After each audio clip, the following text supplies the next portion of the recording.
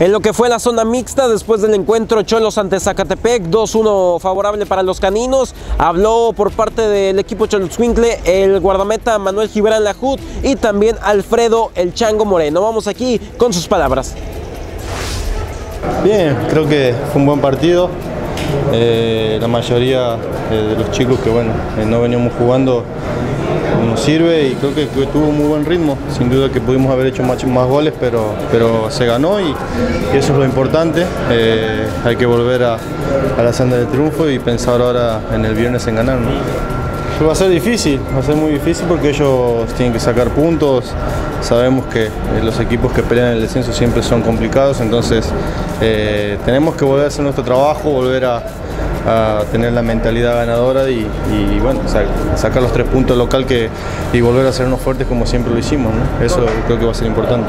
Bien, contentos, este, siempre es importante empezar ganando, hacer valer la localidad y vamos a luchar por los dos torneos. Bien, contentos siempre pudiendo aportar al equipo y aportar la experiencia obtenida en los Juegos Panamericanos para el bien del equipo. Sí, ya, ya estaba consciente de eso, sabía que iba a llegar a jugar y bueno, eh, aportar lo, lo vivido allá y poder aportar mi granito de arena en el equipo para el triunfo.